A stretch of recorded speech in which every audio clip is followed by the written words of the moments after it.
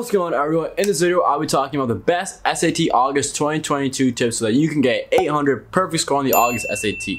So let's get right into it. Alright, so first things first, August SAT marks the new cycle of the SAT season, right? 2022 to 2023. And this season of SATs, you know, it's a new season, right? So the new problems, new everything. So do not expect the same things to repeat themselves. And that is my first tip that there is a new SAT cycle now, so expect new SAT problems.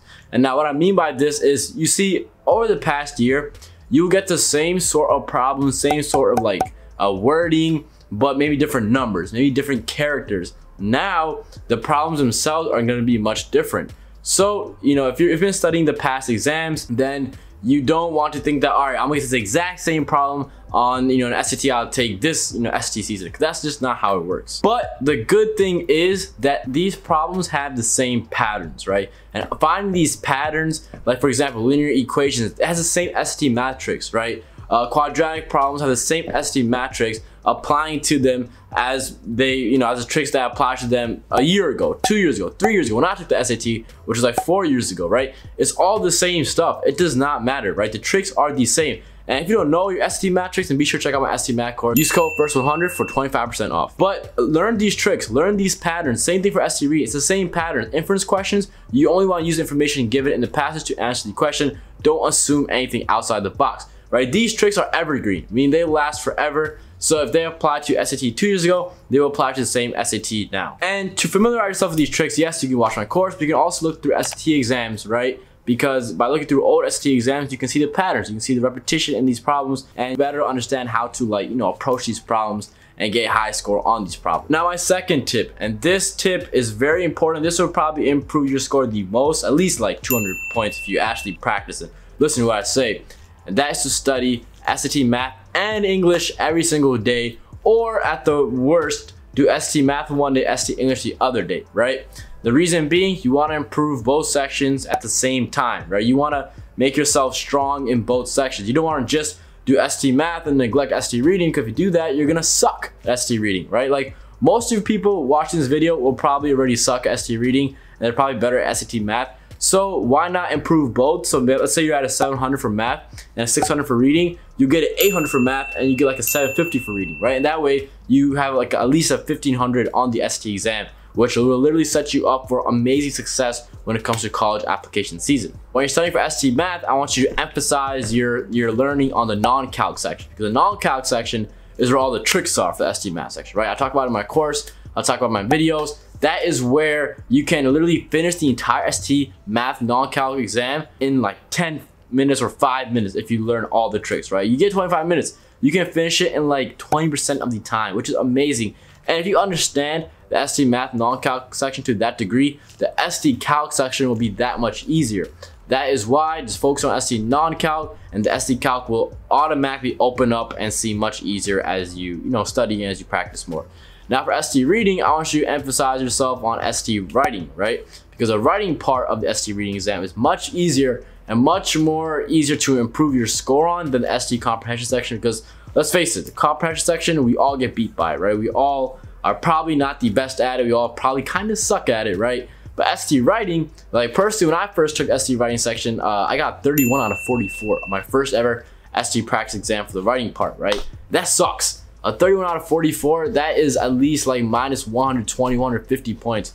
And I was, you know, I was like, man, this is this is really bad. And I was never the strong reading student nor the strong writing student. But I found that SAT writing, right, if you practice on Khan Academy, if you learn the grammar rules, it's an easy section. It's a very easy section actually that if you just follow some, you know, a couple of tricks here and there, a couple tips here and there, you can improve your 31 out of 44 to at least like a 38, a 40 out of 44. And the goal should be to get at least a 40 out of 44. If you're doing that, then even if you get like a little extra questions wrong then you should be on the comprehension section, you can still get at least a 700 SAT writing, uh, SAT reading uh, test slash section, which is an amazing score because if you're able to get over 700 math and a 700 reading, you're already above 1400, but you're also might be putting yourself in a position where you might get a 1500. And that way, you'll be in the top 99 percentile of scorers, which literally like you are a goat. You're the beast right? You'll probably get whatever college you want to when it comes to academics. Now my third tip and this tip is very important because this will literally let you know if you're studying correctly and that is to track your improvement okay? In some sort of way you want to gauge how well you're doing every single week. Are you improving? Are you doing better in the SAT math section? Are you better in the SAT reading section? And now I know a lot of students what they do is they're like, you know, I feel better. I feel like I'm answering all the math questions correctly. I feel like I understand more, which is a great. I'm glad if you feel that way, but you have to understand every SAT exam has a different curve, right? Practice tests have different curves. So while this practice exam, you might get more questions correct, you still might get a lower score if the curve is more harsh, right? That's why what I want you to do is you need to somehow like score yourself. Actually find what you got on the math part. Actually find what you got on the reading part. Like Actually video, find share, what you got on the entire exam, on the entire practice exam, or the entire uh, real SAT exam, right? You want to know your score because the only way you can improve is by knowing your score, finding your weaknesses, and then working on that and seeing if you improve. Because if you're not improving, or even worse, if you're downtrending, then there's obviously something wrong and you want to address it. Because if you don't track your improvement and you're downtrending, literally by the time SAT comes, you're gonna go from like a 1400 to like a one or like a two, which is horrible. You're gonna literally fail the SAT. Actually, probably like a 200, which which is what you get when you write your name, automatic 200 points, and you get everything else wrong. So don't be in a downtrend, all right? You don't want to be a failure. You don't want to be. You don't want to suck at SAT. So please track your improvement every single week and make sure that you are improving because that is the biggest thing about this. And now, your last tip, and this should be kind of obvious. And if you are watching this video, you are already in fact implementing this trick. So good job for you.